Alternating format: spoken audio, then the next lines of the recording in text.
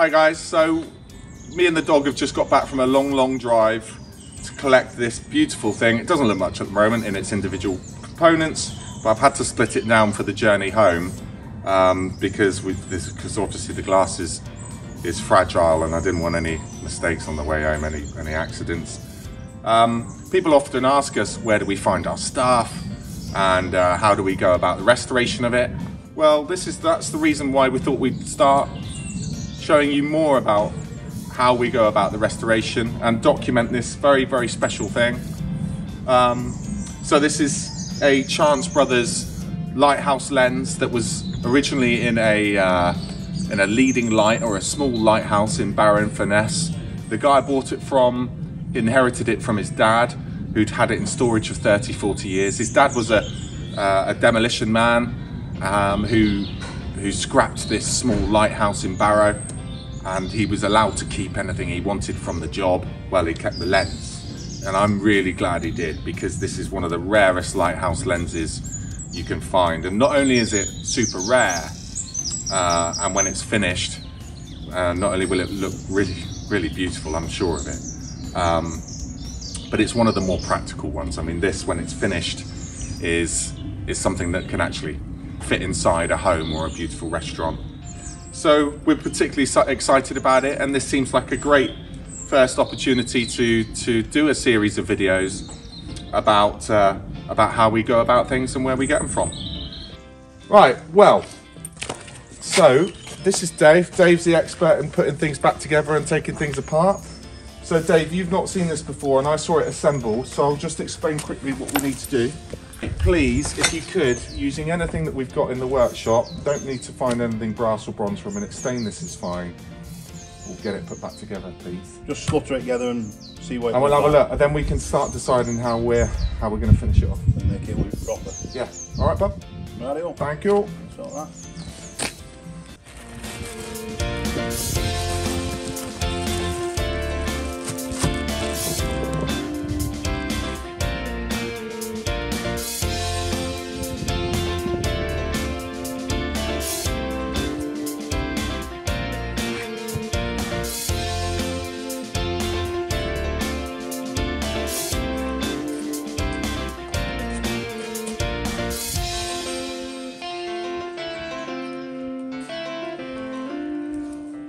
So often the plates are missing on these sorts of things.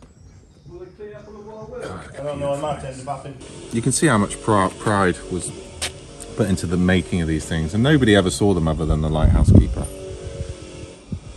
All tucked away in a big tower. How do you think the UNC?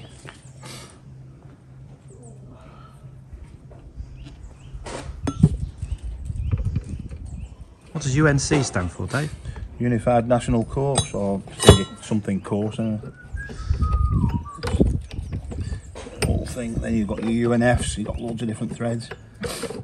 Was UNC like an old standard? It is, but Whitworth was older. Eh? He was the first man to start, sort it all out. Before nuts and bolts used to be made all bloody individually. You made a nut that fit your bolt and all this and the other. And you go to places, you buy a bag of bag of bolts and a bag of nuts, and the best one what fit was the one you used and Whitworth standardised it all.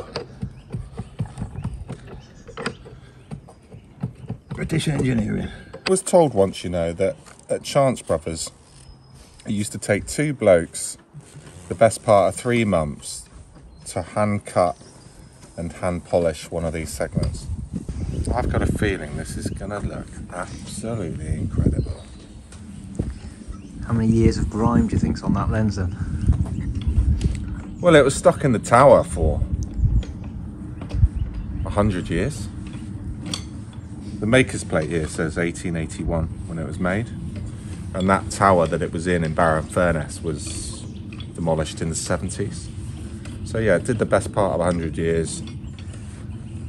I suppose a lighthouse, lighthouse keeper's job would have been to keep them lenses clean. Yeah, yeah, the lenses would have, yeah, for sure. You wouldn't have been so worried about anything else but the the candle burner was a big lump of brass uh, and so removing that to fill it or service it um, and the gas the gas burner was also a cumbersome sort of heavyweight thing, and getting them in and out, you'd always knock the glass. You always find nibbles on the inside, especially.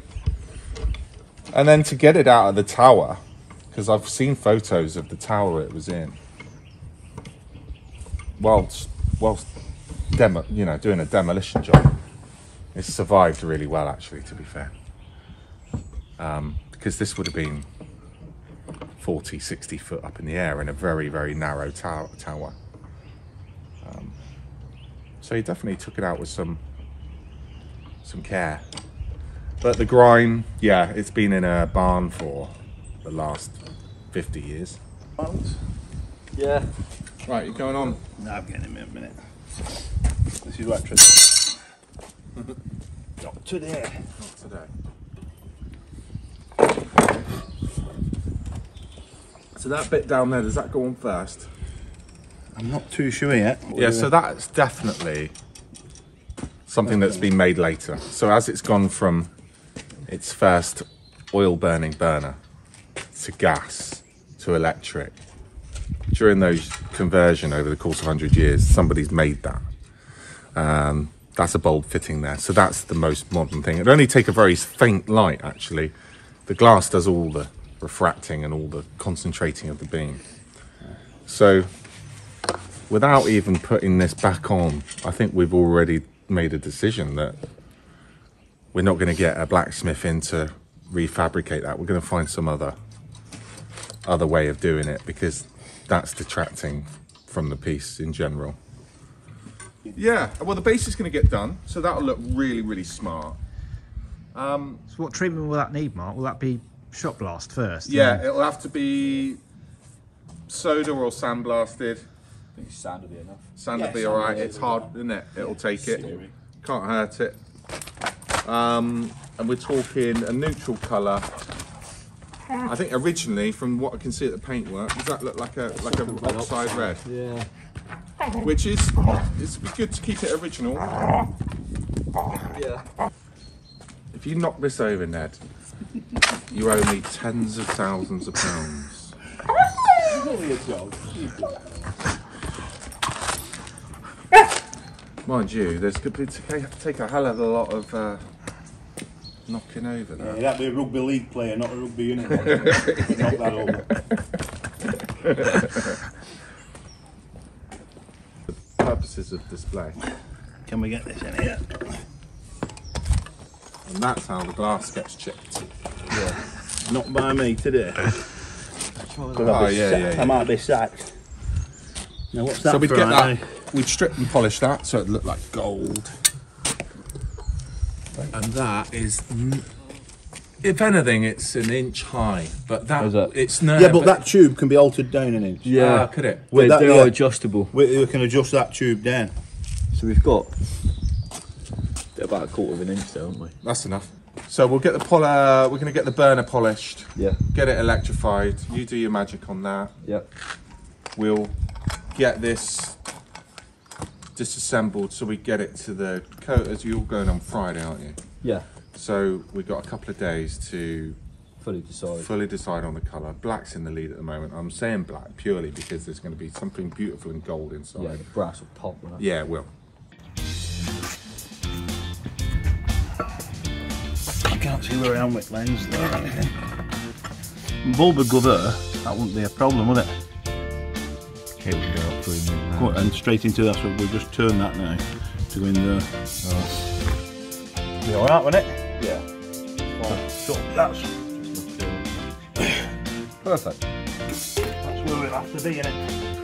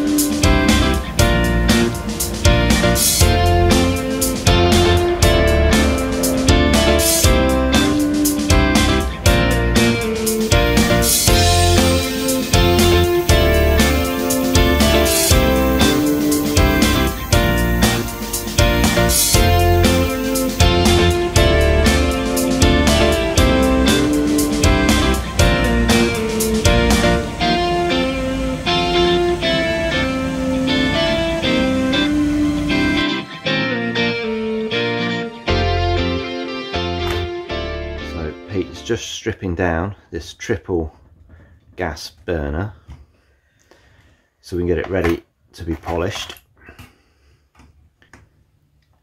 What's inside, Pete? Do we know? It's got a diaphragm in there.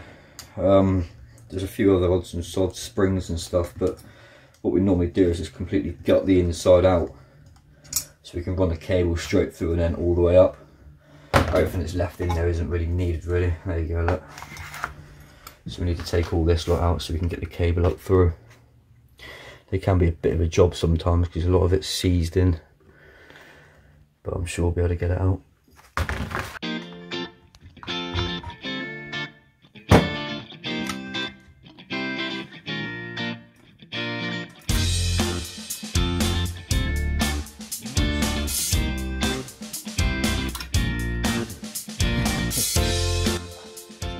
Stripped it all down, cleared it all up.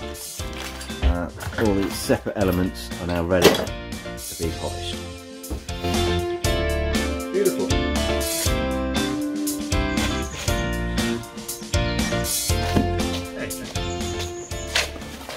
We've just got back from the powder coaters. First choice finishes an extra. Top load. Uh, and the stand's done. It's all right, Pete. I'll unload this. Give us mate, please. Sorry, bud. That's all right. It's the disc actually. is a bit awkward. Cool. So yeah, the stand's back. Delighted. Great job. It's nice. does look nice. Uh, we've got the components out of the van as well. So it's time to go and get Dave and Pete and Dave can put this back together. The only decision now really that we knew we'd have to make at some point was what to put it on. Cool, all right, let's go and get Dave.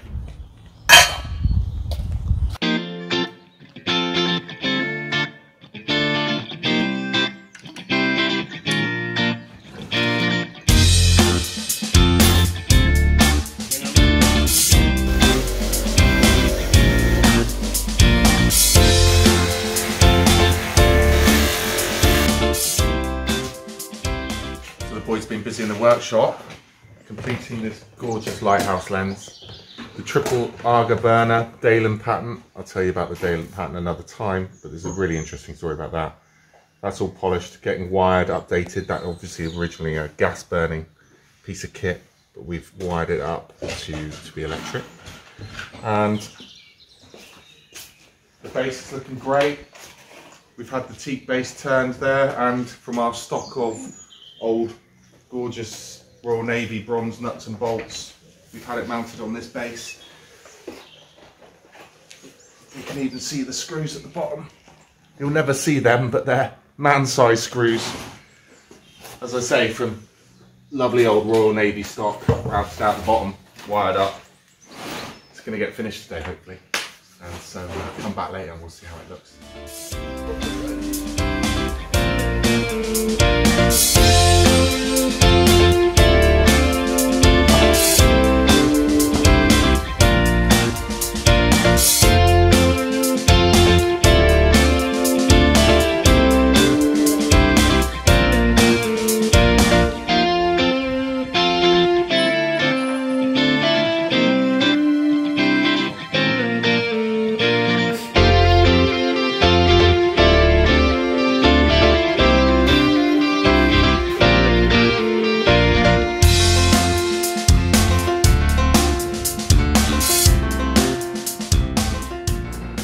It's finished, it's ready, the guys have put it back together. I'm bloody delighted. It looks absolutely stunning. This is probably one of the best things we've ever had. For me personally, it ticks all the boxes.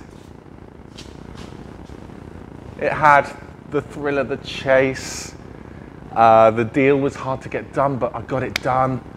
Um, the the, uh, the restoration of it, I'm so proud of our guys. It's obvious to me now that, there's nothing that's beyond our skill set. Uh, and Pete and Dave have done a fantastic job on all of it. The glass is now clean. As you can see, I always knew that it was going to look 10 times better with the glass clean, but even I wasn't prepared for, for how gorgeous and stunning it looks. Um, few little details. You know, the the maker's plate at the back. It it's always quite difficult to to work out how far to restoration restore these things. Um, you know, even the maker's plate had a lovely sort of patina to it, but we've had that polished. We've got some guy to, to inlay the, the, the letters again, so that looks fab. And uh, I'm absolutely made up with it, and I, I'm sure that it's going to make a, an absolute feature of uh, of someone's coastal home or coastal marine business. It's it's a work of art, you know, and as I said earlier in the video, it's it was designed to be purely functional, and it's uh, it's no accident that it's with that amount of design and quality involved and finesse that it's ended up looking like a sculptural object. Original stand, I've only ever seen one on the market and it didn't have its original stand and in fact that's that was $100,000. This is going to be a lot less than that. We don't we don't play those games necessarily. But uh, I hope you've enjoyed this, the first of our restoration videos from start to finish. Uh, we've already got plans for the next one, but uh, and, and uh, it's it's a pretty magnificent thing we're going to do next. But I don't know, this is going to take some beating. So again, keep your eye on YouTube channel or subscribe to our newsletter just so you you can get you know the first glance at these sorts of objects and and see how we do things here.